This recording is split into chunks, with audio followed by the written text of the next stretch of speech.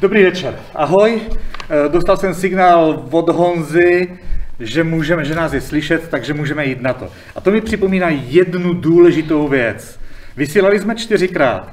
Čtyřikrát jsme skončili a já jsem dostal vzadu hrozně vynadáno, že jsem neudělal dvě hrozně důležité věci. Nepředstavil jsem sebe, takže já jsem Richard Trstěn. A hlavně nepředstavil jsem Honzu. Za kamerou a za tím improvizovaným režijním pultem sedí Honza. A teď jenom takovou trošku odbočku si Nevím, Honza mává, tak možná ho tam vidíte. Jo, super. Jo, jo. Tak to je Honza. A viděli jste z Honzy tolik, co jsem viděl já za celý měsíc, co se známe.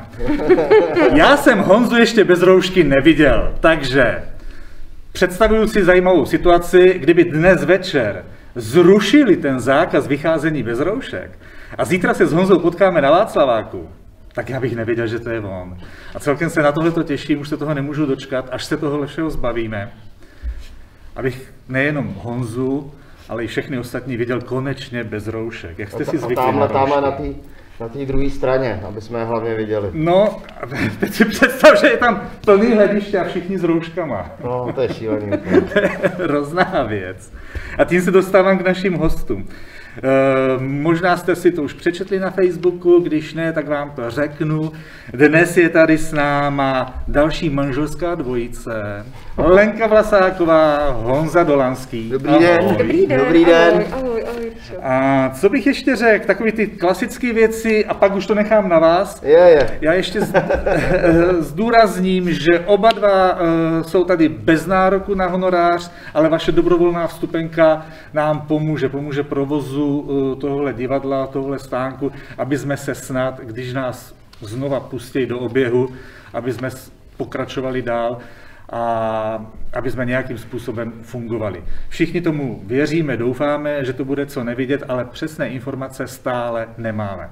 Nemůžeme vám říct, jestli začneme hrát v květnu, v červnu nebo až na podzim. Opakuju se z toho minulého vysílání, ta informace stále trvá, stále je platná tahleta. Takže ani náhradní představení. Hrozně těžko se nám plánují náhradní představení. Nevíme, jestli je máme plánovat už na červen nebo na září. V každém případě platí to, co jsem říkal už minule tady. Bude to pro nás, pro všechny, asi pravděpodobně horký divadelní podzim. Uvidíme se možná i my na jevišti spolu, že si spolu několikrát zahrajeme a možná častěji, než jsme zvyklí, protože se to všechno musí na ten podzim natlačit. No a teď už to nechám asi na vás. Lenka a Honza. Aha. E, zkuste nám říct nejdřív, jak jste se dostali do Palasu. Co pro vás Palas znamená? Jak to, že jste tady? Ta cesta byla taková trošku jako oklikou, mám pocit, ještě přes agenturu Pantheon a tak dál a tak dál. Povyprávějte něco o tom. Tak my jako první představení, který jsme tady hráli, tak je představení Perfect Days, který hrajeme se společností Pantheon. Já hraju hlavní roli a Honza hraje moji nejlepší kamarádku. Jo, jo, jo.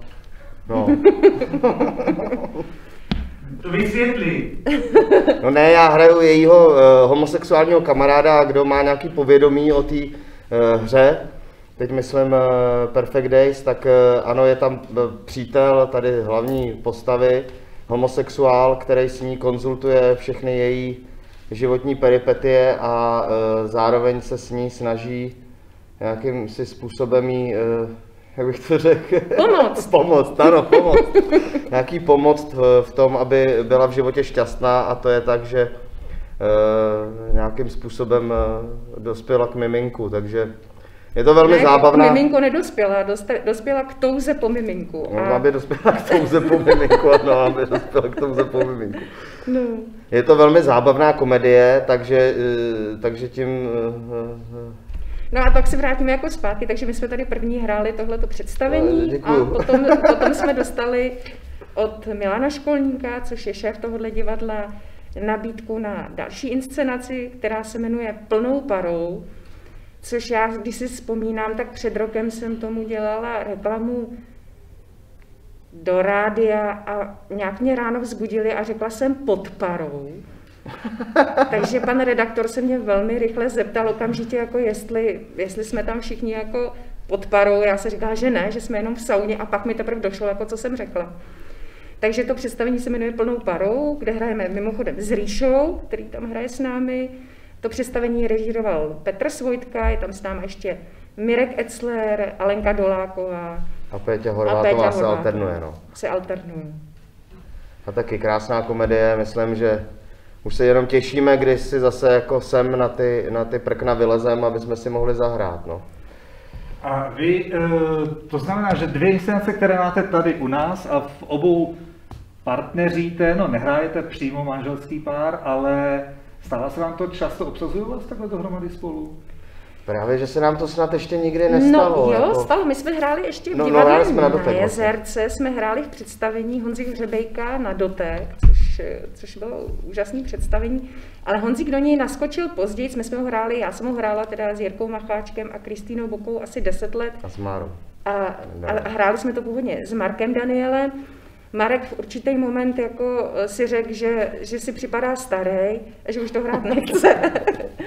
tak eh, Honzu Hřebejka napadlo, že by oslovil Honzu, takže Honzík to dalších vlastně pět let vlastně hrál s náma, takže vlastně pět let jsme to hráli s Márou Danielem a pět let potom s Honzou.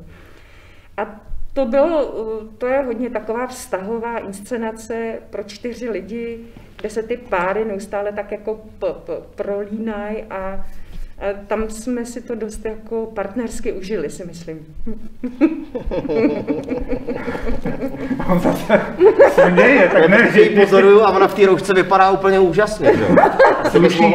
Novou, No, novou, novou no. inscenaci, prostě nějakou ninja, tyjo, vrací úder, takže... Má sladěnou roušku se šatama, je to, je to moc hezký, opravdu. Já jsem se koukala na paní Čaputovou, kterou obdivuju a ta se mi strašně líbila, jak byla barevně sladěná. Tak jsem si taky řekla, že se barevně sladím. Tak eh, no, já ne, no. Takže zase tematický. no. Paní Lisová nám píše, že by hrozně ráda chtěla vidět eh, plnou parou, tak snad se jí to zadaří a snad se to zadaří nám všem co, co nejdřív. No hlavně, jestli si vzpomeneme pak, když to bude trvat hodně dlouho, aby jsme vůbec věděli, co jsme tam všechno říkali, že jo? Jak, jak to máte? Já si jsem hrozně nervózní a vždycky před představením si musím ten text aspoň přečíst. Nepřemýšlím o tom, ale tak jako mám to tam u sebe a, a jsem takový klidnější, když vím, že to tam někde leží. Eh, Koukáte se taky jako před tím do textu? Nebo, nebo Já se, já se do textu jako dívám taky, taky jsem radši, když si to uh, přečtu a vlastně pro dobrý pocit a pro svý dobrý, uh, do, do, dobrý i vnitřní pocit vlastně ten text neustále tahám sebou, i když se do něj nedívám. Takže já ho vlastně sebou vlastně vláčím pořád, Hmm. i když se do něj nedívám, ale pro jistotu ho vždycky no, no, vozím sebou. No. Je to tak, ale třeba po prázdninách letních Skoro vždycky ten text potřebuju, jo. Ne, málo kdy se stane, že bych si to pamatoval. Lenka to má jinak, Lenka si pamatuje všechno ještě deset let potom, co se to nehraje, takže to je... Opravdu? Jo, jo, jo, já, já nějak to úplně nepotřebuju. No. A učíš se, jako stačí ti to si přečíst, nebo, nebo bifluješ se doma? Ne, nebifluji. Já mám asi vlastně nějakou jako trošku i fotografickou paměť, bych řekla, že já si ten No text... trošku ne, ona má hodně fotografickou paměť, ona si takhle jako vyfotí všechny ty listy, ty stránky a je schopná to hned z fleku říct, co tam jako bylo napsáno. Já Ne, vůbec takhle, nechápu. zas, takhle úplně Já úžasně. tě znám, já vím.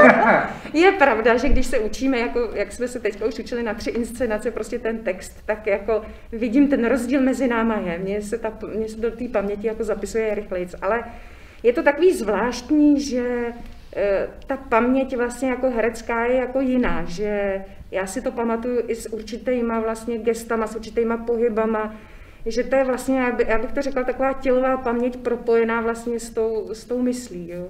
Že to není tak, jako že bych si doma jako vlastně jenom vyfotila ten text a pamatovala si ho.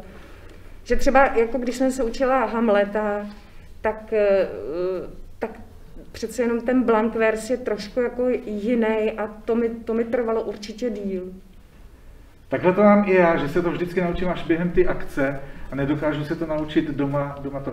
A z té fotografické paměti teda mimochodem podezíráme Míru Etzlera, který umí scénu, kterou si den předtím jakože zkoušíme, nebo něco, se to takhle rozdá ty texty a on to na druhý den umí. Mm. Myslím si, že on něco, nikdy jsme se o tom spolu ne, nebavili, ale myslím si, že on tímhletím No, vládne. tak je to určitá výhoda, že jo, když někdo tak, takového umí. Já strávím eh, většinou před tou zkouškou, nebo ne před tou zkouškou, ale během toho zkoušení eh, dost času na záchodě, že jo, s tím textem a furt, kdy- když jenom můžu, tak u toho sedím a takže určitě výhoda to je, když to člověk vyfotí a může běžet. Jako, jo. Jestli mohu malou odbočku, tak to jsem si vzpomněl teďka, eh, když eh, se zkoušel, eh, nevím, jestli jsme se o tom náhodou někdy už nebavili spolu, tak se omluvám, ale určitě jsem se o tom nebavil nikdy s lidma, když se zkoušel král Lír na hradě mm. a pan Tříska přišel, asi to věděl, půl roku, možná rok dopředu to věděl, že, že, že to bude hrát. On přišel, přijel, přiletěl z Ameriky na první čtenou. Tam obrovský stůl, všichni si vytáhli ty svoje texty, rozložili to, otevřeli to. Honza Tříska si set, zavřený text. Během těch čtyř hodin ty čtený ho ani jednou neotevřel. A všechno recitoval z paměti. Mm. Na první čtený. No, měl Ale... zavolat kamarádům a kolegům, co se taky naučej. Ale já si myslím, že to je úplně jako, jako jiný, jiný systém. Že to, co jsem slyšela, jak se zkouší třeba v Anglii nebo ve Francii, tak eh, my přece jenom na to zkoušení máme dva měsíce, oni hmm. většinou eh, čtyři týdny, takže měsíc, jako a je vlastně na, taková norma, že člověk to je přijde, předpoklad, je to předpoklad, že na tu první čtenou přijdete a člověk vlastně naučený, už ten text jako umíte. Je teda pravda, že ale my vlastně jako ty dva měsíce jako ten text taky nějakým způsobem upravujeme a různě škrtáme, takže ono jako učit se to dopředu, zase si pak jako říkáte, jo, tohle to tam vlastně není, teď tam není jenom půlka té věty, ono to je někdy taková práce navíc, člověka to pak jako mate. Si pamatuju, jak při jedné inscenaci, když jsme dělali, mm, co jsme to dělali? Uh, jo, Racka. Když jsme dělali Racka, tak těsně před eh, premiérou o generálkách. Ještě pan režisér celou jednu scénu jako proškrtal. A vím, že mě trvalo asi, asi deset představení, že mi tam prostě vlastně ty věty jako naskakovaly a říkal jsem si, jo, to tam vlastně není, jo, to tam je až tohle. A že, to, že tam byl vlastně takový jako, že člověk vlastně se dostane do takového zmatku, jako zvláštního. Mm, A Honza mi tenkrát říkal, že se to učí, uh, že se prochází po parkovišti, mm-hmm a učí se to takhle jako za chůze, že prostě no. Jo, jasně, jasně, taky ale s pohybem, jo. A učí se to, no. Hmm. Každý to máme fakt, každý to máme jinak. Uh, teď jsem si vzpomněl jenom na to, jak tady paní píše, že, že uh, tohle bylo fakt perfektně. Já nevím, jestli mluví o Perfect Days anebo o páře. Byla jsem asi ve druhé řadě mrtvá smíchy, jak se vám to spolu hrálo. No tak to je to asi... No tak nám se, nám se jako je, je skvělý, jak spolu už vlastně dlouho žijeme a ještě jsme navíc zjistili to, že se nám spolu dobře hraje divadlo, jo? což je, e, myslím, e, e, hrozně fajn pro ten náš zase i soukromý život, že? Protože kdybychom se museli doma ještě dohadovat, kdo je, kdo, proč to děláš takhle, Ježíši Kriste, proč hraješ to divadlo takhle, nebo vůbec proč hraješ divadlo, tak to by bylo asi příšerný, že jo. To, Takže... to asi trošku odpovídáš tady, když píše paní Milda, že jestli si doma, když si se učíte texty, jestli si navzájem dáváte nějaké herecké připomínky. Ale jo, no, tak my myslím, že jsme tomu dost otevřený a já jsem eh, hrozně rád, když mi někdo ještě dá nějaké věci, které mě nedocházejí, nebo mi Eh, určitě každý, každý herec, myslím, je rád za, za jakoukoliv připomínku, kterou dostane, pokud eh, eh, to je smysluplný, že jo? Jo, jo, my jak se známe, tak vlastně myslím, že to dokážeme se vlastně vzájemně nějakým způsobem inspirovat, jo. Že člověk jako přijde za tím druhým a řekne, hele, tohle to bylo výborný a ještě mě napadlo, že by se tam dalo udělat tohle. Což se nám teďka jako děje u páry, že já se na Honzíka hrozně ráda dívám, protože on je teda třeskutě vtipný. Jako... No, no, jo, jsem, čím, dá, čím dál tím, čím dál tím víc, zrovna v tomhle představení. A mě to vlastně se baví na něj dívat, protože mě vždycky jako napadají, ale napadají mě docela lumpárny a on je dobrý v tom, že, že rád je vyzkouší. No, moc si jich nesmím vymýšlet pak, protože já jsem ještě takový smíšek, takže já když vymyslím pak nějakou jako fakt bejkárnu, tak jsem vlastně první, který se tomu začne smát a to není úplně dobrý. Jako. Ale hodně se směje Lenka, to, to, to, nevím, jestli to můžu prozradit, ale asi můžu. Když jsi na jevišti, tak Lenka vždycky stojí tady někde v tom portálu a fakt se směje no. na plný kolo. No mě to občas taky jako, taky, taky mě to od, odřachne, když jí slyším, jak se směje, protože vidím, že to je jako upřímný. Hrozně, hrozně to baví. No jednou jsem mi takhle viděl, když jsem já byl na jevišti, tak taky stála v portálu a to brečela, mám pocit. Ne, vůbec, jako smíchy myslíš,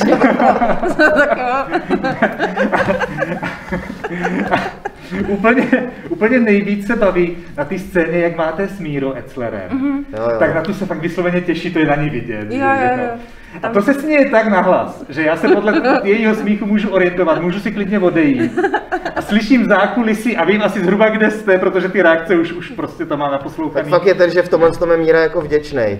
Jako kolega prostě na tom jevišti, protože on je taky pro každou špatnost, takže ten, když já jenom vidím ty jeho oči prostě, jak ty čerti mu tam jako jedou.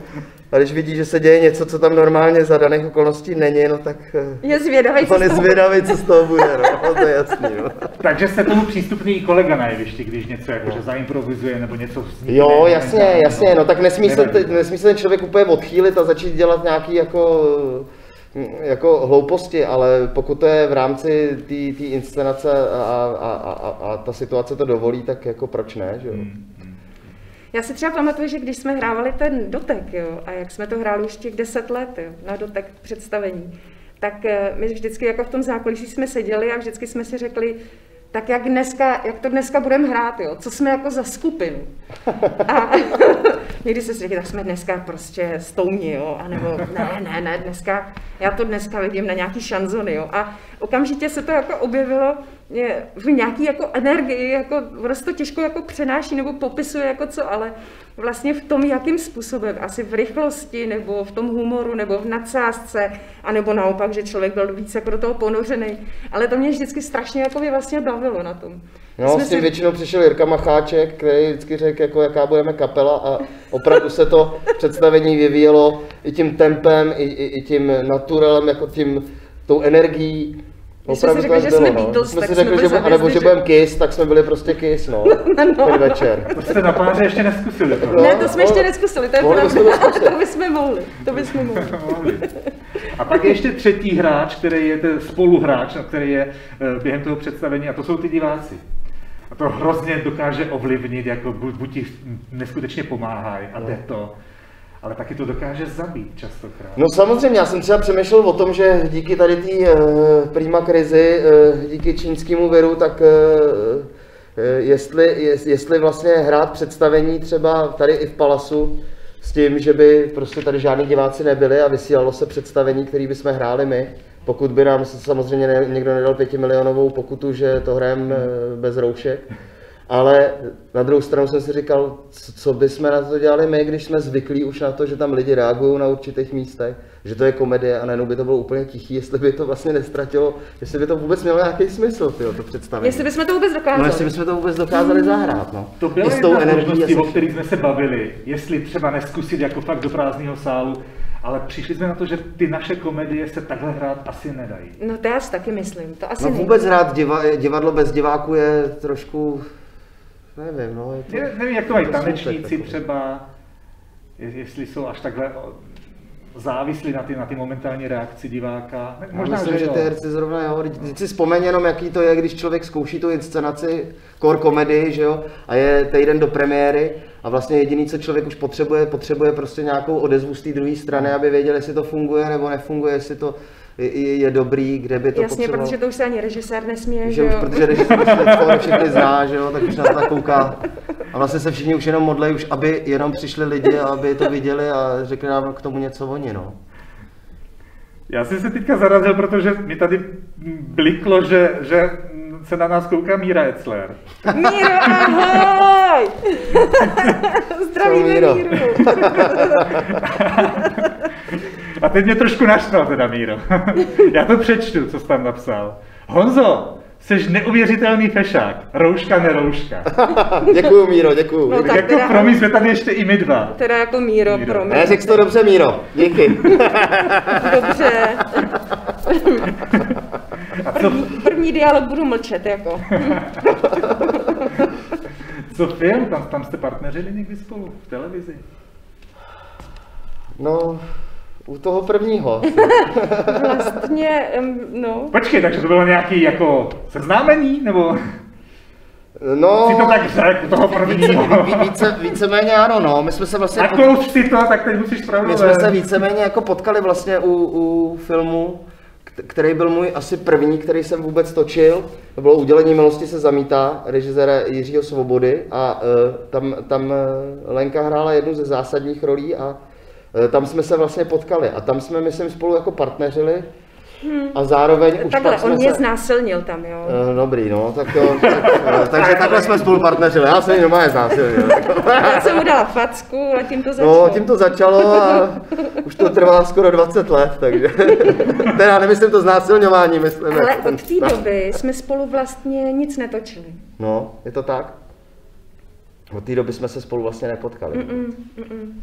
Možná teď, Milan tady na nás syčí, Milan školní. Aha, a nese nám nějakou dostanu otázku. zase já další otázku. Milan, Milane. Pan ředitel dělá Pan spojku. dělá spojku. Dobrý večer. Co je pro vás těžší? Komediální role nebo role dramatická? Děkuji, Jiří. Jiří. Ticho. No, Ono je to těžký, no. ono je těžký v oboje, si myslím. jako, udělat dobrou komedii je mnohdy těžší než... eh, Já nevím, já... Pro je to mě, pro, asi, no. mm, pro mě to je jako... Pro mě to je oboje asi stejný. Jo? Hmm. Já jsem si třeba dlouho o sobě nemyslela, že bych mohla stát na jevišti a lidi by se vůbec smáli. Jo? No, já jsem se po, považovala za dramatickou jako umělkyni.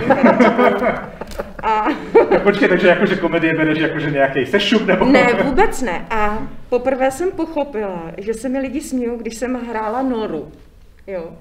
Ibsena Noru.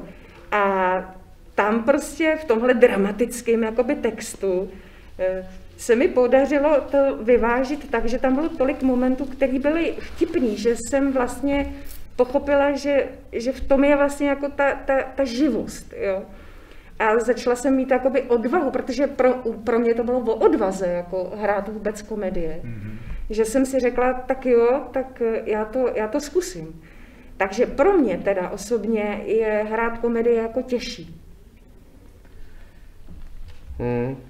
To si myslím i já, že, že, že, že to je opravdu jako kumš a proto si vážím všechny ty lidi, kteří, kteří sem jdou a vědí, že v tomhle divadle je, ten základ je položený fakt na těch komediích. Já si to taky myslím, no, že No je to těžký, no. Dělat komedii je, myslím, je to těžký, no. Zdraví vás moc Bára Soukupová. A Báro, ahoj. Báro taky, ahoj. Ahoj Leni a Honzíku, posílám vám oběma moc pozdravu, moc se těším, až se budeme moci všichni potkat tváří v tvář. Mm. Děkujeme, taky. Roušku v roušce. Jak dlouho budete povídat? Chci ještě napsat. No tak uvidíme, Bára. Uvidíme. Uvidíme Báro. Jinak Bára, Bára Soukupová je produkční právě z Panteonu, takže my jsme s ní v takovém docela úzkém kontaktu, když hrajeme Perfect Days a eh, Bára je úplně úžasný, srdečný člověk, já ji moc zdravím, mám ji moc ráda. Těším se na ní, až ji uvidím. Hmm. My jsme tady všichni takový úžasní a máme se hrozně rádi. A No, hlavně se nám myslím, že všem stýská. Jako. stýská se nám hrozně moc. No. Ah, Stýská se i Mírovi Královi, který vás taky zdraví Ano. přes Ahoj, Facebook. ahoj, Míro. Ahoj, Míro. A Míra píše, že na Lenku je radost navrhovat i šít kostýmy. No tak Míro, můžu tě ujistit, že naše uh, dcera 17 letá každý den peče úplně neuvěřitelné věci. Eh, Takže to je zase těžký odolat, takže nevím, jestli zrovna po téhletý nedobrovolný pauze bude úplná radost jako na mě šít. jo. Jak se vám mění život teď v karanténě, v nouzovém režimu? No je to takový, někdy to je smutný, někdy veselý, zároveň, já nevím, no, to je, je, je super, že jsme s dětma, víc než jsme byli. To je jako, myslím, velmi pozitivní. Učíte se s nimi? No učíme, učíme, Dáváte učíme. to? Eh, Tak eh, naše děti jsou poměrně samostatní, dáváme to, je, těžký najít v tom jako rytmus jako pro nás. Jo. Zrovna dneska jsem dětem, který vstali v půl dvanáctý, jako už opravdu vyčinila. Jo. Že už je skoro po škole a oni teprve by normálně šli jako ve škole na oběd. Jo. U nás se taky ale stává ve 12 a to nejsou dva žádné děti. že eh, jsme odjížděli sem a děti, dětem jsme tam akorát jako zadávali všechny úkoly a všechny. A mně je docela hezký, jako jak tam jsou pohromadě, takže eh, ty nejstarší vlastně třeba s Johánkem teďka tam dělali nějaký slovní úlohy a nebo Jenda všem diktoval diktát, nebo naše úplně nejstarší dcera diktovala diktát, eh, který jsme pochopili, byl tak morbidní, že si pak vymýšlela úplně neuvěřitelně. Ty diktáty, které jsou v těch učebnicích, jsou dost morbidní. Jako, tak, tak, tak, jako si pak vymýšleli úplně neuvěřitelné věty. Hmm, tak vlastně v něčem ta domácí škola je zábavná. Myslím, že je to pro nás taková zkouška, my máme třeba na Valdorské škole hodně vstřícní učitele, že ta komunikace jako probíhá hrozně otevřeně.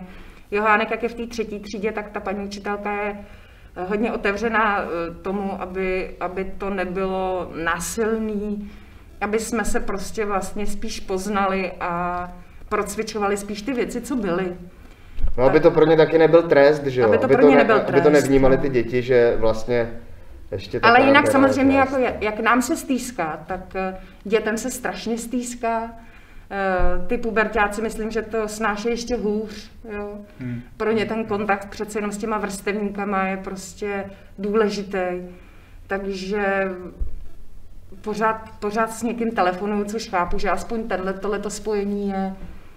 No a my jsme objevili eh, kouzlo jako nějakých společných videohovorů, Jo, jo, jo, to který je jsme fajn. absolvovali dva, jako s našima kamarádama a kolegama z divadla a, Je to hodně a zábavný.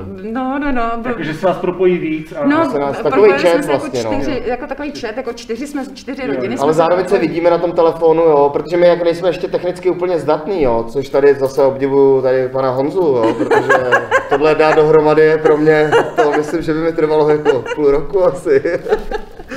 tak, eh, tak děti nám vysvětlili, co máme dělat a pak jsme se takhle spojili s těma, s těma rodinama a byl to dost eh, zábavný, jeden večírek byl teda velmi zábavný. No, tříhodinový, to člověk. Hodinový večírek, kdy jsme si každá rodina otevřeli tu láhev To se vína. chci zeptat, jestli No. si otevřel. Otevřeli jsme si u toho láhev vína a bavili jsme se tři, tři a půl hodiny asi. A Tři a půl hodiny jsme strávili prostě na nějakém Whatsappu nebo na nějaký týhle tý legraci a, a povídali jsme si. A bylo to teda strašně zábavné. Samozřejmě, že by to mohlo být zábavný, kdyby jsme se sešli u nich na chalupě třeba, nebo u nás, nebo kdekoliv jinde, že jo? to by bylo taky dobrý, ale, ale v rámci možností teďka tohle bylo teda skvělý. To bylo super. Takže je to tak, chybí nám to všem, jako ten kontakt. A já si říkám, jestli nás to nezmění, jako je, přece jenom dnes je to 29. den, co nehrajeme, co je divadlo zavřené. Je možný, že to bude možná 60, no jako to opravdu to, to, to reálně hrozí, že, že budeme takhle dlouho, možná, že i díl zavřený. Jestli nás to nezmění, že bude hrozně těžký se vrátit do toho normálního běžného rytmu právě tím vstáváním a takovéhle věci. To, to bez sporu. To bez sporu. Myslím, že to bude hodně bolavý. Bude jako to no. bolavý. Hmm. No ale zase myslím, že nás do, doženou nás okolnosti, že jo. Vzhledem k tomu, že nikdo z nás nebude mít peníze, tak jako do té práce bude muset, jako prostě text, netext, půjdeš do divadla, jako. A víš, co si všichni o nás myslí? Ještě, že pracujeme večer, po nocích, že jo? Můžou spát celý dopoledne. No, no myslím, že, že půjdeme všichni. Kdo je, kdo je Naděja Jakšová? Moc vás zdraví, ahoj Honzo a Lenko, moc vás zdravíme. Nevíme, jestli si pamatujete, chodili jsme často na vaše představení s bábovkama od babičky. Přejeme Jo. celé vaší rodině hodně zdraví a snad ještě se někdy uvidíme, mějte se moc krásně. Ježíš, děkujeme, děkujeme, děkujeme i za bábovky a, a ano, ano. Tak začněte Doufám. chodit na páru, já bábovky hrozně rád. Jo, jo, jo, jo, jo. Tak přijďte, no, do, teďka ne samozřejmě, no, ale přijďte, ne, tak to bude možný. Až budeme vědět opravdu všechny ty náhradní termíny, tak to budeme zveřejňovat jak na Facebooku, tak na Instagramu, tak na našich stránkách, všechno to tam najdete. Uh, Už teď víme, a o tom jsme mluvili. Zase si na druhou stranu říkám, víš, pro mě, Ríšo, Mm, že, že až se to jako otevře celý ty divadla, tak eh, my, jak budeme jak utržený ze řetězu, všichni jako, a natěšený do toho jako hraní, tak si myslím, že by si vlastně lidi neměli nechat ujít ty první jako představení, protože to bude hodně velký mazec. Jako. No, že, eh, že prostě ty, tyhle ty nespoutaný jako umělci, až vlítnou prostě na to jeviště, tak eh, to bude Jsi veliký. Jako. nevyřáděný. Nevyřáděný prostě, plný energie, to bude jako veliký. To máš možná pravdu, to máš možná pravdu. Dívají se na nás i v Karviné, mm-hmm. protože Robin reaguje, uh, nevím na co, to, to, to mi možná připomenete vy, uh, ano, udělení milosti se zamítá, točeno u nás v Karvině. To byl ten první film? Ano, ano, ano. Asi, jo, tak na to reaguje. Všechny vás moc zdraví, takže vy jste točili v Karviné teda. Tím pádem. My jsme točili, ano. My jsme točili jako Ostrava, byl, Karviná. Vlastně to točilo na místech. Ostravsko, jako vlastně ob- v Opavě jsme byli. Ano, ano, ano, No, no, na no. ví- více místech, no. Jste všichni krasavci, říká Robin. Na rozdíl No, od. Mirka Etzlera. ano. Mirku, takže máš to tady. Já pořád čekám, kdy Míra jako přijde s nějakou odpovědí. Jako, Ne, ne, ne, zatím nezareaguju. Míra mlčí. Míra mlčí. Míra se drbe na hlavě teďka a zpětuje svědomí. Počkej, možná se objeví tady. Každou chvíli. Uh, aha. Božena píše, tohle bylo fakt, to už, jsme, to už jsme četli, pardon, pardon, pardon, pardon. Jo, a ano, to, co jsem nevěděl, tak b, paní Božena reaguje, že mluvila, mluvila o Perfect Days. Jo, Ano, děkujeme. Ano, ano. My když spolu jezdíme na zájezdy, tak vy jste schopní, a i když jedeme do té Karviny nebo na, na, na Ostravsko a tam čtyři hodiny cesty před náma, a vy jste schopni celou tu cestu prodebatovat o filmech. To je nějak váš, váš velký koníček asi, že? No, eh, tak eh, ono vzhledem k tomu, že Míra Etzler, zase jsme u něj, Míra Etzler je velký jako znalec filmů a až mě překvapuje, kolik toho opravdu jako zná a je to velký teda fanda filmový.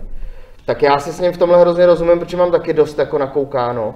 A film mě teda velmi baví, no. Já filmy sleduju hrozně rád a jsem schopen za ně i utratit hromadu peněz, protože nejsem vlastně pirát, ale nejsem pirát ne z důvodu toho, že bych nechtěl být pirát, ale z důvodu toho, že to neumím, že jo.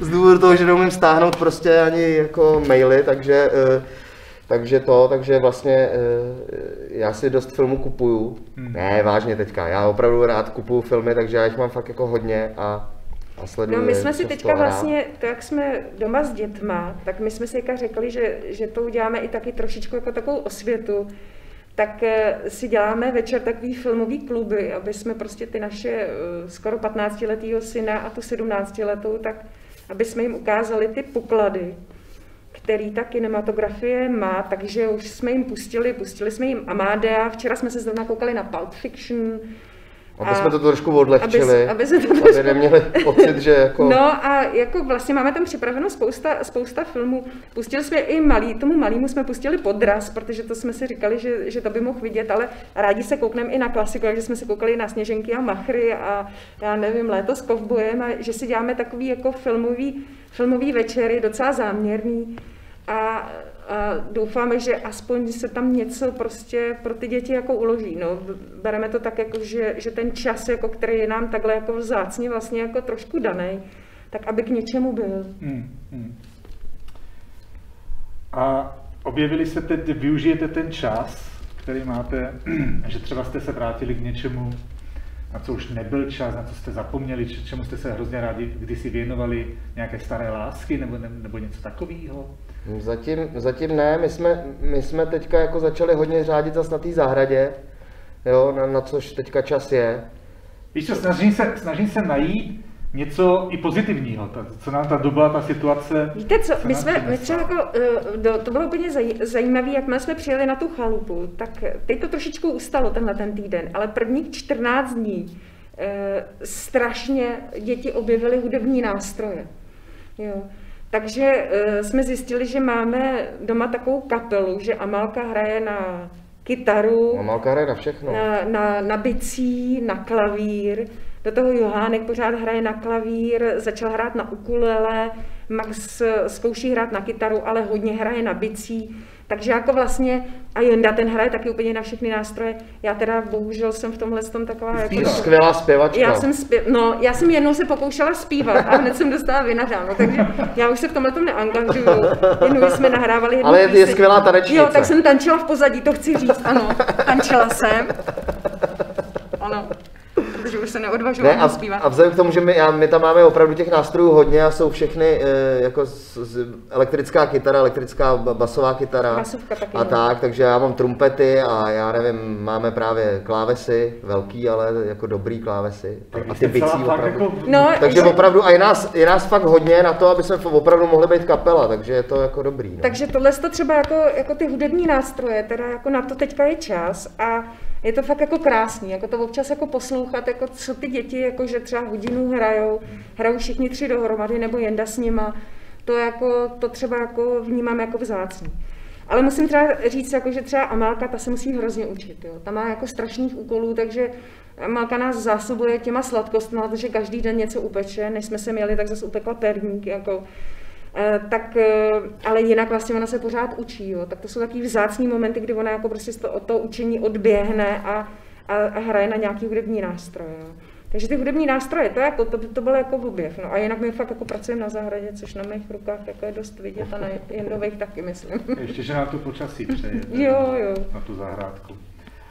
Uh, dívá se na nás Petr Svojtka. Je, ale Ahoj. takže... Všichni tři. A taky Monika Hášová, kterou zdravím já. Ahoj Moniko. Moniku neznám, ahoj Moniko. No, Moniku já se známím někdy. Teď přemýšlím, jestli byla na páře.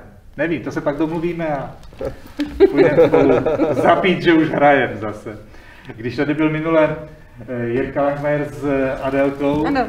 tak eh, na to si mě přivedla teďka ty, tak, tak Jirka zpíval. neblbni. A ty si, no, Jirka nám zaspíval celou písničku a ty si teď teda řekla, že Ne, já zpěv jako- ne, já jako ale že prostě- nějak pohybově, že se nedá. Já bych mohla Takže by se nějak- tančit, ale jako, já nevím, jestli Jenda do toho bude zpívat. Ne, ne, ne, ne, ne, ne, ne, ne. jako kulturní vložku. Jakože víš, že by se mi až tak stýskalo, že...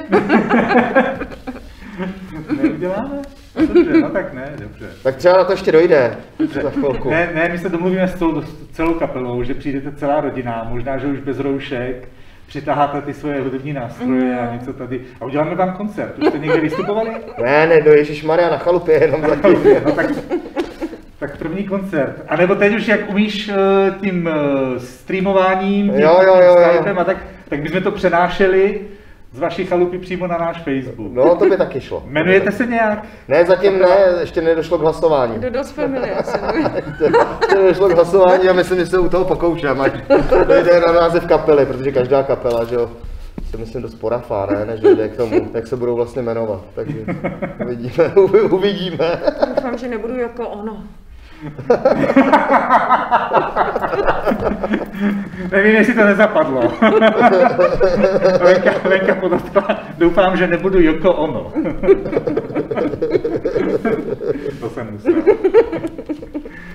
Co, co plány na léto? Dokážete teď v této situaci nějak No plánovat? plány na léto to Já nám... neplánuju, to zatím, jako zatím, myslím, že, myslím, že vůbec neplánuju. To jsme asi přestali všichni tak no. nějak zatím teďka plánovat. Protože myslím, že plánovat nemá cenu, no. Hmm. Ani Myslím, nějaký- že se nikdo z nás nikam moc jako nepodívá. Hmm, hmm, hmm. Tím bych chtěl pozdravit bráchu svýho, který chudák pracuje v cestovním ruchu, i se svojí ženou Luckou, s naší švagrovou a myslím si, že ty zrovna teďka řeší úplně jiný, jiný starosti mají. Takže plány cestovatelské určitě nejsou, ale, ale ty už máš odcestováno hodně a já vím, že i díky Lence. To je pravda. Tím se pochlup, to, to, to bylo zajímavé. Já jsem, no ano, já, já díky svý milovaný ženě, která e, e, mě posílá pryč, která, mě, která mě posílá, e, protože pochopila, že je to taková moje vášeň, nebo že, že, že bych si to přál, prostě cestovat a vždycky jsem vlastně chtěl. Tak to začalo tím, že mě k mým eh, 40. narozeninám poslala do Iránu, kde jsem strávil asi 16 dní krásné zemi. Irán je prostě nádherná země a nevím, jestli se tam ještě člověk někdy podívá. Teď eh, v té v téhle situaci člověk jako ne, netuší, jestli se tam ještě vůbec někdy člověk podívá, ale ale ta byla jako, to, to, to je nádherná země a všem bych ji doporučil a teď k 41. narozeninám mě znova vyslala do světa. Já jsem zase obul ty toulavý boty a byl jsem na Madagaskaru, což je druhá nádherná země díky přírodě, která je tam teda neuvěřitelná endemická příroda, kde je tolik eh, živočichů a rostlin, který opravdu nikde na světě nejsou. Eh, Řekněme tomu Broukovi. Jo, děti a moji ženu nejvíc jako eh, asi, asi, eh, asi bavil brouk, kterýho jsem tam vyfotil eh, spolu se spoustou teda jiných živočichů. A to je ži- žirafí brouk, který no, je takový, asi takhle velký brouček to je a má opravdu jako eh, krk jako žirafa dlouhý a tam má teprve jako hlavičku. A je to něco neuvěřitelného. Tam mám pocit, že si fakt jako s tou přírodou někdo jako krutě zahrál, protože tam je jako neuvěřitelných teda zvířat. A, a, a, je krásná, ta příroda je krásná, opravdu. Chvilku to vypadá jak v Alpách, pak to chvíli je jak někde v Amazonii, je to opravdu neuvěřitelný. Člověk se... a, a to musím teda podotknout, že za těch asi 20 dní, co jsem tam byl, jsem procestoval asi čtvrtku jenom té země, takže jsem se někam, kde to je taky úžasný, vůbec nedostal. Ale Madagaskar taky vřele doporučuji, kdyby, kdyby člověk měl možnost se tam dostat, tak je to krásná země. No, já totiž Honzíka posílám, protože každý Honzík jako potřebuje jít na cestu, že jo, to jsou ty pohádky, Honzíkova cesty, Honzíkovy cesty a e, já jenom chci podotknout, že to jsou, on cestuje s baťohem, jo, je to vždycky taková omezená skupinka, tak maximálně 15 lidí spí pod stanem a tak, jo, že to není tak, jako že by putoval z jednoho rezortu do druhého. Já jsem si, když jsem to vymýšlela, tu první cestu, tak jsem si říkala, že že chci, aby začal někde u toho prapůvodu té civilizace, což ten Irán s tou Perzí, že jo, to, to tak jako je, tak aby začal opravdu jako úplně od začátku. A vlastně mě fascinovalo to, že, eh, že i to nepohodlí, protože si myslím, že to je jako trošku jako důležitý u toho cestování, aby člověk jako poznal i ty lidi, i tu kulturu, aby poznal víc zblízka, že, že prostě není v nějakém takovém tom evropském rezortu, kde se vlastně s tou kulturou jako skutečnou jako člověk nepozná, takže já ráda udělám tady reklamu cestovce Kudrna, jako která, která jako prostě mě ukouzlila, se kterou dvakrát Honzí, která takhle vycestoval. E, má prostě připravenou třetí cestu a uvidíme, jestli vlastně, jestli to bude možný, jestli i na to budeme mít peníze, jestli prostě se bude moci jako vůbec jako cestovat po světě. E, ráda bych to Honzovi dopřála, protože si myslím, že to je důležitý, aby člověk poznal ten svět taky a nejenom, aby byl... No a zároveň to, že člověk, když jede s tím baťohem, ještě s, eh, s pár těma dobrodruhama, který, který jsou na tom vlastně stejně a, a vyšplhá na, ať to byl ten Pik Bobby, třeba na tom Madagaskaru, na ten kopec, tak se nějak tak sám jako dokáže, že ještě jako, že jako má sílu a že, že je, je, to prostě skvělý pocit, no. Když si člověk trošku jako hrábne a ty síly, eh, ty síly napne někam což je to cestování. No. Je, to, je to skvělý, je to dobrý. Mě to dělá dobře a myslím si, že je takových lidí hodně a, a, a o to bych hrozně nerad přišel, no, o to cestování. Teď si stěžuješ na roušku. že se nedali. A ty na takovéhle dobrodružné cesty a podstanem a nevím No jo, co. ale už to, už to je taky zase dávno, víš co to je. jako, vlastně bych jel hned a takové, takové uh, cestování jako klasika, prostě rodina u moře, rezort nějaký, to, to, to, to není pro vás. Ale jo, taky, akorát, že my, my, my zrovna jsme, my dva, uh, myslím, nejsme lidi, kteří uh, v tom rezortu vydrží dlouho, jo. Na, nás to jako baví, když si člověk potřebuje, když má hodně práce člověk a je utahaný, tak myslím si, že opravdu těch pět dní třeba vydrží na jednom místě a dokáže se válet, ale my, my se začneme hrozně rychle nudit, no. Jako víš, že, no, že... protože my jsme, já totiž jako necestuju jako, jako jenda, protože já eh, se bojím lítat, jo. Takže já mám jakoby omezenou, omezenou v tomhle možnost, ale my jsme čtyřikrát vlastně vycestovali hmm. s karavanem po Evropě a vlastně to je asi takový způsob toho cestování, který nám vyhovuje Naposled jsme byli před dvěma lety na uh, asi 17 dní v Portugalsku a to, to bylo jako taky krásné, jako objevovat to. Objevovat je to takový svobodný zážitek, no, víš? A tohle, to, a tohle je vlastně to samé, protože jakmile přijedeš na ten Madagaskar nebo i do toho Iránu a cestuješ vlastně tou zemí, tak tu zemi nějakým způsobem, aspoň trošku, i když maličko, tak ji poznáš. Hmm. A, a i, i ty lidi, tu kulturu, uh, tu přírodu. A ve chvíli, kdy jsi prostě v tom rezortu, tak sice můžeš říct, že jsi byl tam a tam, ale vlastně z té země neznáš vůbec no. nic. No.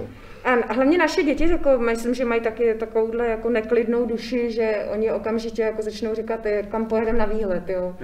Takže jako loni jsme byli v Chorvatsku, ale vlastně jsme změnili během 8 dní jsme tam byli a změnili jsme prostě dvě působiště a pořád jsme jako jezdili někam jinam, že hmm. asi máme prostě, my dva máme asi takovou neklidnou jako duši v tomhle a ty děti to mají po nás. No.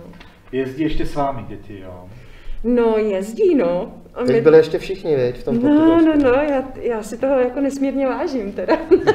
Ale tak vás... protože vědí asi, že to prostě bude zá, zá, zábavný a záživný, no. Protože kdyby fakt někde leželi, tak třeba by o to ani zájem neměli, no. Ten týden se někde válet, nevím, no. Ten Karavan, ono to totiž začalo úplně prapůvod toho našeho cestování eh, je, když jsme měli starý auto, to byl eh, Renault Espace, takovej eh, hroch jsme mu říkali. A to bylo už takový hodně jako vetchý starý auto. A my jsme byli teda hodně mladí, to taky musím podotknout. A měli jsme, kolik jsme měli těch dětí? Tři. Už jsme měli tři děti. Sofie a Malcolm ročního Maxe. A ročního Maxe. Jo, no tak už to je nějaký pátek. No a my jsme vyrazili tady tímhle s tím naším eh, starým vetchým autem a já jsem ještě nechal hlasovat, že nepojedeme do Chorvatska, ale do Itálie. Ne? No takhle jako my jsme vyrazili, jo. My jsme jako vyjížděli z chalupy s tím, že druhý den pojedeme do Chorvatska, jo. Během té cesty, než jsme z chalupy dojeli do Prahy si zabalit, eh, tak Jenda nechal v autě hlasovat.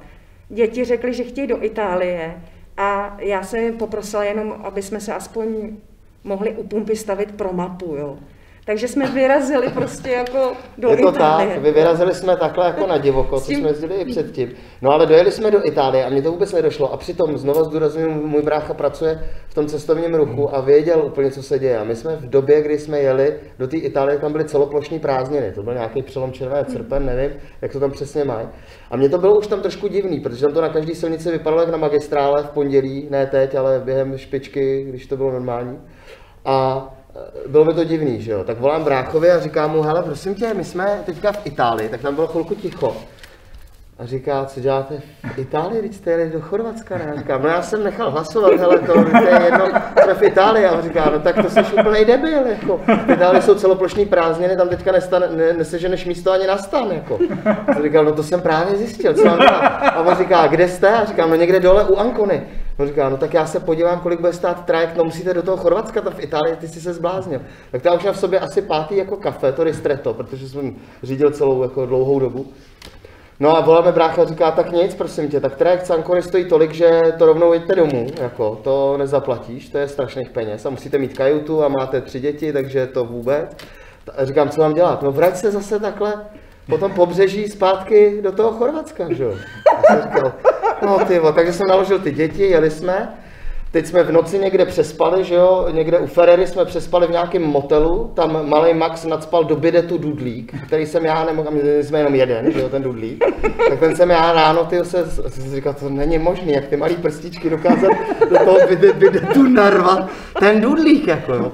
Tak ten jsme jak jako vy, vy, vy, vysápali z toho bidetu, jeli jsme. A na té dálnici se nám to auto rozbilo, praskla nějaká hadice od chladiče a to a hotovo, auto nepojízdný, takže pro nás přijela odtahovka, což byl Rus ještě, ten si s náma povídal, který přijel, prostě Rus nás odtáh prostě do, do, do servisu a tam přijel, v Cabriu tam přijel prostě šéf toho servisu, tak si mě zavolal a že si se mnou bude povídat. Ten Rus říkal, že to bude překládat, že italsky neumím, on jenom italsky. A on říkal, že mi to vysvětlí, že to je v pohodě, že když na mě bude mluvit pomalu, tak jako to pochopím asi. Jako, no.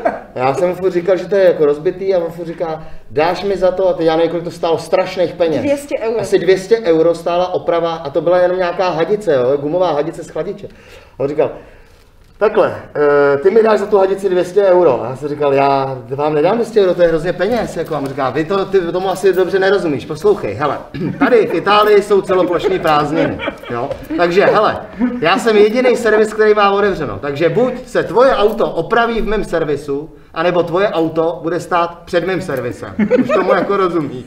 Se říkám, už tomu rozumím, tak jsem mu dal 200 euro, on uříz nějakou hadici z nějakého traktoru, tu tam narval, já jsem se to pak ve finále ještě doopravil sám, protože ten zase nevěděl, ten chudák rusák, jak od- odzdušnit jako to, eh, no, to topení a tohle, tak jsem ten chladič, takže jsem si tam nalil všechny ty kapaliny, no a vyrazili jsme, že jo.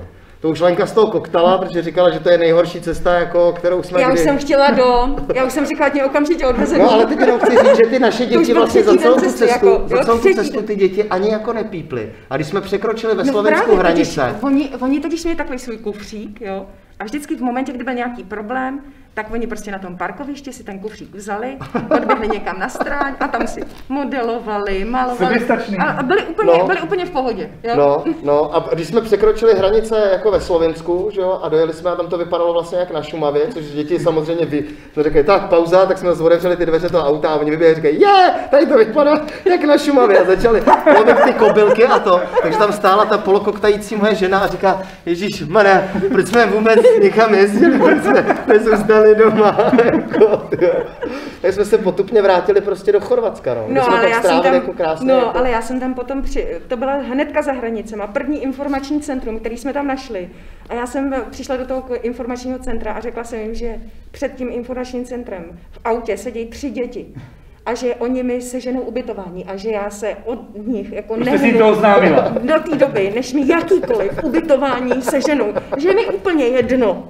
Jako, Kde? Kde? A jak? Ale že už potřebuje do No, tak nám no, sehnali úplně, úplně krásný, ale pak se tam stalo jedníkovi, že šel k bankomatu, jakože vybere peníze a zapomněl PIN, jo, na celých těch deset dní, co jsme no, tam a já jsem si ale nevzpomněl. Celou, cest, celou dobu, co jsme tam byli, jsem si nevzpomněl. Tam každý ráno chodil s tou kartou. Ty máš na té kartě napsaný, zkoušel jsem- všichni to ještě, ještě volal jako do Prahy, jako do banky a ptal se paní, jestli náhodou, náhodou neví. Jo. No ale jenom co chci říct, proč jsem to celý říkal, to tu eh, jako historku, že vlastně já, když jsem spal pak jako celou noc a skoro půlku dne, když jsem byl úplně vyřízený, protože jsem furt řídil to auto, že? až do té Itálie a pak do toho Chorvatska, tak jsem spal. A druhý den se děti, jenom proto říkám, že oni jsou fakt jako, uh, oni jsou divočiny, který, který by taky rádi cestovali a ne, nevydrželi na jednom místě, tak se ráno zbudili a tak se mnou zatřásli, kdy já jsem tam ještě v limbu jako polo ležel, tyjo, tak mi říkali, tati, prosím tě, nepojedeme na nějaký výlet. Říkal, ty vole, my jsme na výletě už tři dny, ty vole. A já si myslím, že, že při tomhle výletě se nám ještě ro, rozbila i ta baterka, ne? No, to jsme taky měnili. Jo, jo. Protože my jsme vyjeli do té Itálie a já jsem furt říkal, Ježíš Maria, ta Itálie smrdí, to je strašidelný, tady to tak strašně smrdí. A pak jsme to jak zastavili, vajíčka. Jak, jak zkažený vajíčka. A zastavili jsme u pumpy a zjistili jsme, že to smrdí naše auto, protože se jako odpařil nějak ten elektrolyt z té baterky a ta baterka už jela úplně na poslední jako to bylo šílený, takže baterku jsme měnili, vej, dolejvali jsme se tam nějak jako destilku, Hmm. pak nás někdo nahodil přes kabely, ten Ital, ten byl výborný, protože mi furt říkal jenom fumáre, fumáre, fumáre, a já říkám, já to vidím, že se z toho kouří, ale jako, co s tím budeme dělat? A on říká, že se to musí odmontovat, že tam nalejeme destilku a že to bude jako v, poř- v pohodě. Tak jsme tam nalili tu destilku, on mě na- nastartoval přes ty kabely a pak říkal, a teď jeď, jeď furt, ale nezastavuj, nevypínej klíček a jeď, jeď, jeď, jenom jeď, tyjo. A hlavně oni, oni strašně obdivovali naše děti, protože v tu chvíli naše děti byly úplně blondětý, jako. A tak se jim strašně líbily ty naše bambíny, jako s těma blondětýma vláskama. Taky tam tak jako voňufávali. Já se hrozně bavím, protože když jsme seděli nahoře před tou půl eh, šestou, jak jsme měli vysílat, tak Honza říkal, bože můj, co já tam budu říkat? No, já furt nevím posílal, ještě. posílal Lenku, běž tam sama, co já tam vždyť já nemám co říkat. A Honzo, víš, že jsme teďka 15 minutový No jo, tak já už končím zase pomalu. Mimochodem, Monika nám píše, nějak se to kouslo, máme takovouhle nějakou informaci, že, se, že jsme se... Ne, Moniko, tak u nás ne. Zkus restartovat, nebo já nevím co, nevím. U nás, my jsme prej v pohodě. A jenom Lence informaci, že tady lidi zběsile uh, lajkují ten Etzlerův nejapný status o tom, jak to Dolanskému sluší. Ty vole, tak Už, to už to má asi nějakých sedm lajků nebo No tak to Tak, teda Míro. jako, Míro, Eh, Zdraví, zdraví, zdraví Petr Svojtka a má tady takové jako, já, já to přečtu celý, je to trošku delší, jo? Moc zdravím své dva oblíbené herce. Hm, tak čau Peťo. S každým z nich mám mezní životní zážitek. S Honzou jsem natočil svou první a poslední televizní pohádku. To je pravda, to je pravda, A s Peťo. Lenkou, když jsem na Damu jako prvák šel do disku na premiéru její absolventské inscenace Idiot, kde skvěle hrála Agláju, tak bylo tak narváno, že jsme se se spolužáky z ročníku nedostali. A tak jsme šli rovnou oslavovat a vzniknul z toho krásný týdenní mejdan u mě doma. Díky vám, objímám vás oba, vlastně všechny tři. Fajn. Děkujeme, děkujeme. Děkujeme. díky, Peťo. Děkujeme. To mě, to mě, to, to, já využiju takovýhle malinký oslý můstek, že teď eh, eh, jsme mluvili, nebo četli jsme zprávu od Petra Svojtky, který tady bude sedět v tomhletom křesle už, už v sobotu. A nebude sám, bude tady s Vandou Hybnerovou a s Davidem Novotným. A připravili jsme si, já nevím, nebo Petr to připravil, jenom abych vás trošku navnadil, tak slavné milostné dialogy. No tě Bůh. A já už týden usínám s představou, že Vanda je Julie a David je Romeo. A hrozně mě to baví a vlastně se na tu sobotu těší. Tak těšte se s náma a koukejte se na nás v sobotu, ale pozor, máme malinkou změnu. Tuto sobotu budeme vysílat už, eh, teda až od eh, 19.00. Trošku jsme to posunuli, takže v sobotu 19.00 improvizovaná zkouška s Vandou Hybnerovou, Davidem Novotným, Petrem Svojtkou. Už kvůli tomu stojí zůstat doma. Nejenom kvůli rouškám. Vám asi poděkuju, protože už, už taky spolu sedíme hodinu Fakt? a Perfektní. povídáme si. Ještě poděkuju i našim divákům za to, že s náma tu hodinu vydrželi a za to, že si kupovali dobrovolné vstupenky, čímž podpořili existenci divadla Palas. A kou- koukněte se prosím na Donio.cz, kde je taková zvláštní zajímavá rubrika, která se jmenuje Kultura žije. Myslím si, že tam najdete spoustu zajímavých projektů, které byste mohli taky podpořit, mezi nimi i divadlo Palas. A od včerejška jsme se taky zúčastnili, vstoupili do akce, která se jmenuje Vstupenky na nic. Nevím, jestli jste o tom slyšeli, koukněte na to goout.cz, vstupenky na nic. Až do 1. května si můžete kupovat vstupenky na představení, které bude o ničem. Ale podpoříte tak dobrou věc, podpoříte tak existenci nezávislých souborů, protože této akce se odmítly zúčastnit všechny příspěvkové organizace, za co jim děkujeme, chválíme jejich rozhodnutí a my se těšíme na vaši podporu. A hlavně v sobotu tady u nás v Palasu opět stream z divadla Palas a z prázdného hlediště. Lenko, díky, Honzo, díky moc. Děkujeme My moc taky. taky děkujeme. Mějte se krásně Moc a držte se všichni. Ahoj. Těšíme se na vás. Ahoj. Ahoj.